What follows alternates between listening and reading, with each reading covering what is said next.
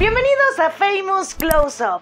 Pues hay un nuevo escándalo en el mundo del entretenimiento y obviamente en la vida de Inés Gómez Montt, porque precisamente ya aseguran que tanto ella como su esposo se encuentran físicamente hablando en territorio mexicano.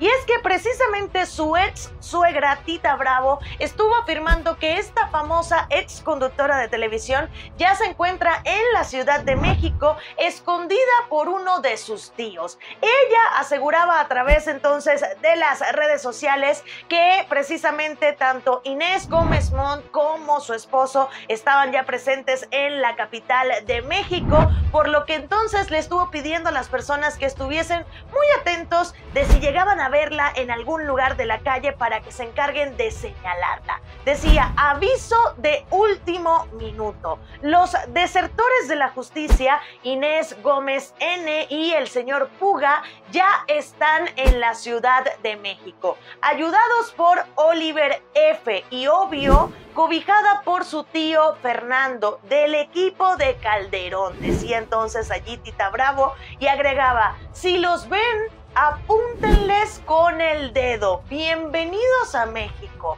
Así de una forma bien irónica, ella le estuvo dando esta bienvenida a la Ciudad de México. Y es que ustedes saben que desde hace mucho tiempo estaban en este tema de encontrar el paradero de esta polémica pareja. Se desconocía el lugar donde se estaban escondiendo de las autoridades. Sin embargo, pues también se hablaba de que ellos estaban buscando cierto acercamiento con las autoridades mexicanas para llegar a algún tipo de acuerdo. Pero ahora su ex suegra entonces recientemente estuvo revelando que ya ambos se encuentran en territorio mexicano. Por lo tanto, pues hay que esperar que esto sea confirmado por alguna fotografía o por alguna autoridad que así lo verifique. Pero hay que recordar también que tanto Inés Gómez Montt como Álvarez Puga están siendo, pues obviamente, señalados en todo un proceso legal por la Fiscalía General de la República, donde los están responsabilizando de peculado por 3 mil millones de pesos, los cuales además,